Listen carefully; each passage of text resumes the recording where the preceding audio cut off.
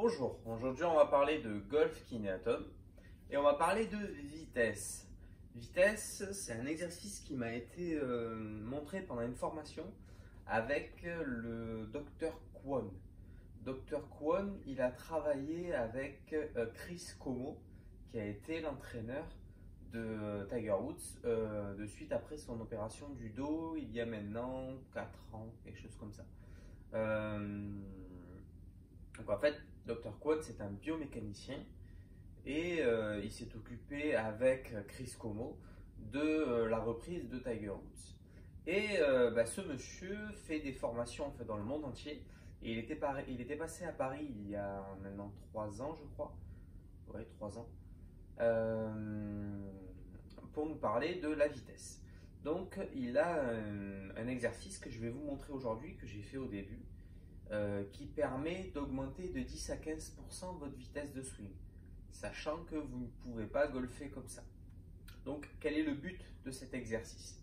Le but de cet exercice est de vous faire travailler en survitesse. On sait qu'en fait, sur le travail de la vitesse, il y a un plafond. On a chacun un plafond qui fait que euh, est difficile de le dépasser. Et pour ça, en fait, il faut le provoquer euh, par des éléments extérieurs. Donc euh, là, sur cet exercice-là, en fait, on va tout simplement se placer donc, à l'adresse. Donc la balle, si on met une balle, mais bon, faut être courageux, est en face de soi. On va décaler le pied droit sur le côté, ce qui va amener l'appui complètement à droite. En même temps, on va monter là ici et finir son swing.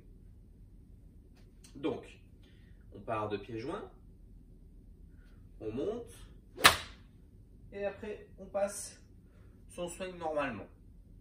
Je vous le remontre. On se place à l'adresse, on monte et là ici. Ce simple décalage vers la droite ben, en fait va augmenter euh, ce qui se passe naturellement dans le swing et du coup va augmenter le travail de la jambe droite au redémarrage. Là ici, je suis complètement en appui dessus à pousser sur ma jambe pour que tout parte. Il y avait un film, euh,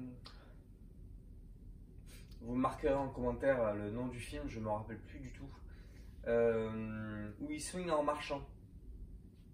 Il part là ici, il fait trois pas et après il swing. Bah, c'est un petit peu la même, euh, la même idée, c'est d'augmenter la vitesse. C'est d'ailleurs dans ce film, je crois qu'il tapait, il tapait très très très très loin. Euh, donc voilà pour le travail de survitesse avec cet exercice-là qui est euh, bah, facilement reproductible au practice et pour le coup qui ne modifie pas tellement le, schéma d'un swing de golf.